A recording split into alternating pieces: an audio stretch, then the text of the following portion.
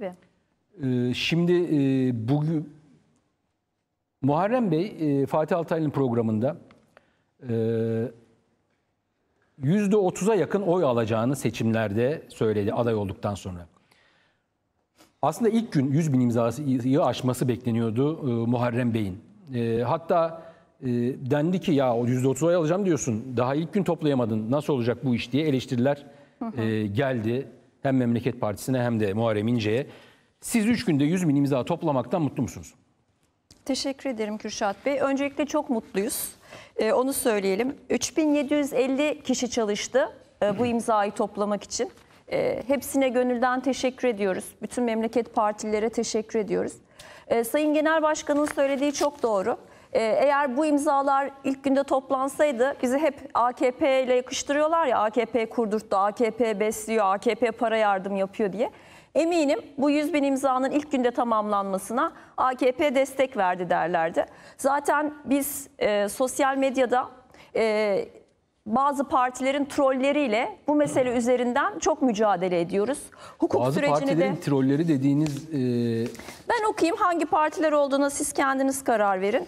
AK Parti Beykoz İlçe Başkanlığı'nın e, bizim imza sürecimizde otobüs kaldıracağı ve 100 bin imza, imzaya destek kampanyası başlattığını ilişkin. İddia edilmişti. Evet bu, bu tip belgeler yine AKP onlar gençlik zaten kollarının- yalanlandı ilerleyen günlerde. AK ama buna inananlar da var Kürşat Bey. AKP gençlik kollarının yolda sokakta kimi görürseniz Muharrem İnce kazanacak deyin diye işte sahte WhatsApp grupları oluşturdu. WhatsApp grupları oluşturduğu için sahte belgeler.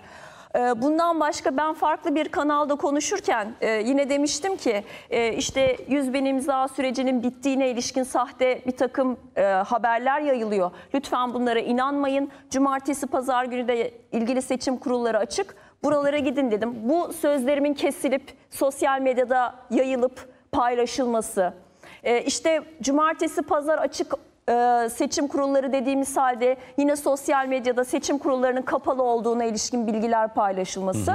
Biz bunlarla uğraştık. Ha, Biz bunları nereden biliyoruz? Bunlar FETÖ'cü taktikler. E, çok güzel öğrenmişler bu FETÖ'cü Peki, taktikleri. peki e, yapanlar kimler? Yani kimler Ee, derken isim vermenizi istemiyorum. Hangi çevreler? Çevreler dediniz ya ben de öyle sorayım. Hangi çevreler? Vallahi hangi çevreler e, onu ben telaffuz etmeyeyim. Etik olmaz. Hukuksal açıdan belki bir karşılık doğurur. E, o yüzden onu kendi vatandaşımız karar versin. Bizi AKP ile yakıştıran, bizi AKP'nin kurdurttuğunu, finanse ettiğini söyleyen çevreler kimlerse bunu yapanlar da onlar elbette ki. E, ama biz hepsiyle mücadele ettik. Artı şu da var. Şimdi e, biz oraya gelip imza veren bütün vatandaşlarımıza çok teşekkür ediyoruz. Hepsinin imzası bizim için çok değerli, başımızın üstünde. Ha bu bizim sandıktaki oy oranımızı yansıtır mı? Asla yansıtmaz. Çok farklıdır. Çünkü bu İşte bir... orada insanların kafasında bir tenakuz var. farklı, Yani çok e, farklı. üçüncü, dördüncü gün hatta ben Şimdi yanlış söyledim. Üçüncü dördüncü gün ya 100 bin toplanıyorsa bir sıkıntı var Hayır e, kesinlikle diyorlar. bir sıkıntı yok e, Kürşat Bey. Şimdi 2018 döneminde Sayın Akşener işte ilk gün ilk 4 saatte toplamıştı. Neden? Çünkü herkesin haberi vardı bundan. Sayın Muharrem İnce 2018 yılında Cumhurbaşkanı adayı olduğu zaman mikrofonu almıştı, otobüsün üstüne çıkmıştı. Demişti ki Sayın Akşener için imzaya gidin, Sayın Karamollaoğlu için imzaya gidin, Sayın Perinçek için imzaya gidin demişti. Ama bugün biz aynı centilmenliği, aynı nezaketi başka hiçbir Cumhurbaşkanı adayından göremiyoruz. Aksine Bugün seçime de söyledi, girmeyin, evet. Hı hı. işte bölücüsünüz, e, engelliyorsunuz gibi tırnak içinde kullanıyorum bunu mahalle baskısıyla karşılaşıyoruz. Bu ülkede demokrasi 2018'den 2023'e kadar nerelere gelmiş? Ne kadar acı. 2018 döneminde e, demokratik bir seçim olsun diye bütün e, Cumhurbaşkanı adayları yarışsın birlikte diye Sayın İnce çağrı yaparken bugün hiçbir Cumhurbaşkanı adayı aynı centilmenliği göstermedi. Yine 2018'de Muharrem İnce para bile yatırmıştı bağış hesaplarına ama ona dönen olmamıştı. Tabii 2018'den 2023'e demokrasinin bu kadar gerilemesinde partili cumhurbaşkanı sisteminin çok büyük bir etkisi vardır. Bunu kabul ediyorum. Ama siz bir muhalefet partisiyseniz sizin duruşunuzu göstermeniz lazım ve bize Sayın Genel Başkan'a çekil baskısı yapacağınıza bilakis tek adama karşı tek aday Şimdi siz bir siz bir karşı gelmeniz muhalefet lazım. partisisiniz ama e, hem iktidara hem de muhalefete muhalif bir partisiniz. Biz üçüncü bir yoluz aslında. Evet biz ne cumhur ne millet tek yol memleket diyoruz. Bizim temel hedefimiz bu iktidarın gitmesi. 20 yıllık bu iktidar mutlaka gitmelidir. Çünkü Türkiye'nin artık sırtında büyük bir yük teşkil etmelidir, etmektedir. Bu iktidar gitmelidir. Ama bu muhalefet de doğru bir muhalefet yapamamaktadır. Biz bunu çok uzun zamandır söylüyoruz. Yaptığı şeylerle iktidarın ekmeğine yağ sürmektedir. O yüzden diyoruz ki Türkiye'de muhalefet nasıl yapılır? Gerçek muhalefet nasıl yapılır? Biz Memleket Partisi olarak bunu göstermeye talibiz diyoruz. Mesela e, Cumhurbaşkanı adaylarının başvuru süresi dolduktan sonra biz e, Sayın Erdoğan'ın Cumhurbaşkanı olamayacağına ilişkin Memleket Partisi olarak dilekçemizi vereceğiz. Bakalım aynı cesareti, e, aynı e, ilkeliliği diğer muhalefet partileri de gösterebilecekler mi? Biz bunu bir şey için yapıyoruz. Biz diyoruz ki Türkiye'de hukuk devletinin ilkeleri geçerli olmalıdır. Eğer Cumhurbaşkanının aday olması anayasaya aykırıysa bunun gereğini bir muhalefet partisi yapmalıdır. Ha kabul edilir edilmez YSK tarafından. Ama siz hem farklı genel başkanlar üzerinden, yöneticiler üzerinden adaylık tartışması yapıp aday olamaz deyip ama aynı zamanda da dilekçe vermezseniz o zaman söylemlerinizle uygulamalarınız birbirine aykırı düşer. Peki İpek Hanım devam edeceğiz ama şimdi ben e, bu adaylık süreci yani daha doğrusu aday olacağı biliniyordu Muharrem Bey'in. E, bundan birkaç hafta önce ben kendim bizzat konuştum. E, bana şunu söylemişti. Daha sonra da söyledi zaten benzer şeyleri. Ben aday olacağım. Net o imza toplayacağım olacağım. Onda hiçbir sorun yok zaten yapıyor onu. Evet. E, gidişata göre bakarım. Yani e, eğer geride görünüyorsam, görünüyorsam e, Kemal Bey lehine çekilebilirim dedi. Daha sonra da söyledi zaten bunları. Şimdiki hedef ne? Tamam adaylık artık e, net ortada.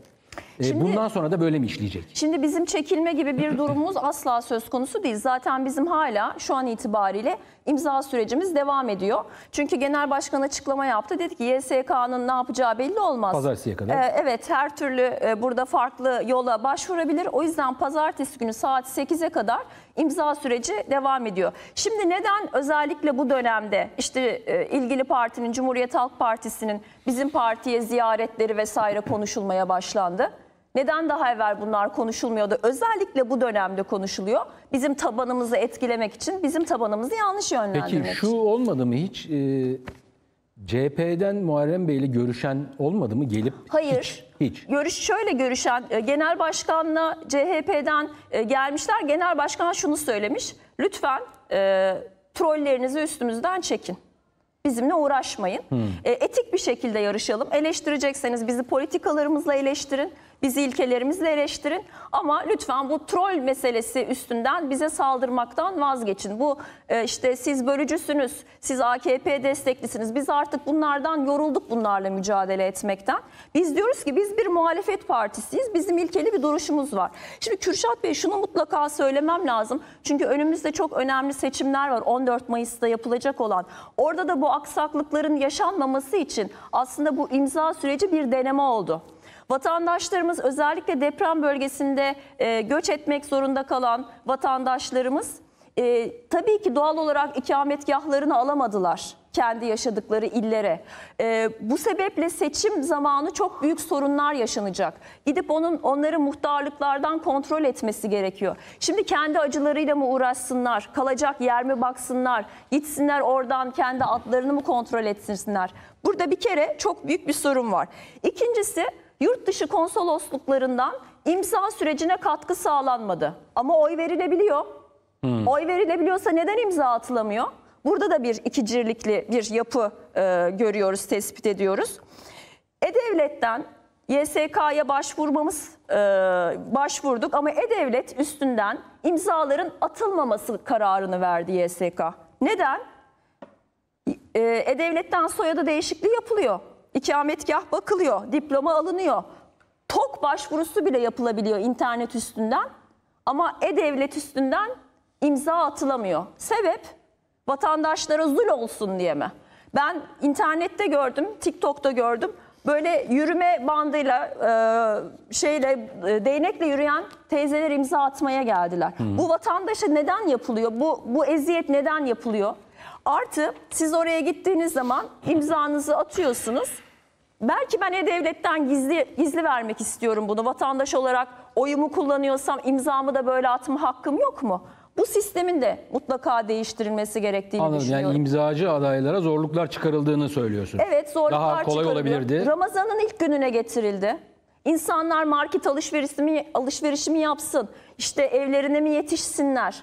E, bununla uğraştılar. Yani yoksa Ankara'da 100 bin zaten- imza daha önce de toplanabilirdi Tabii diyorsun. Ankara'da otopark sorunu var, trafik sorunu var. Memurlar çalışıyorlar, öğrenciler ikametgahlarını alamadılar çünkü üniversiteler açılmadı.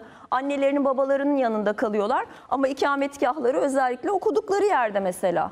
Böyle de çok fazla problem yaşandı. Yani bu süreci e, kesinlikle e, oy oy verilecek olan 14 Mayıs'la kıyaslamamak lazım. Çok yanlış bir kıyaslama olur. Anladım. Çünkü aynı kefede değiller. Peki Gürkan Zengin e, 100 bin imzanın uzun vadede toplanması biraz önce söylediğim gibi hep eleştirildi ve ya işte %30 oy alacaktınız nasıl olacak bu iş diye e, bir takım sitemkar e, yorumlar yapıldı Muharrem İnce ile e, ilgili. Müjdat Bey kim yapıyor bir de bu yorumları tabii? Bilmiyorum, Bu, bu, yani- yorumu, bu yorumu yapana bakmak lazım. Yani kim yapıyormuş? İşte belki sizin söylediğiniz çevreler. bilmiyorum. Yani evet. Olabilir.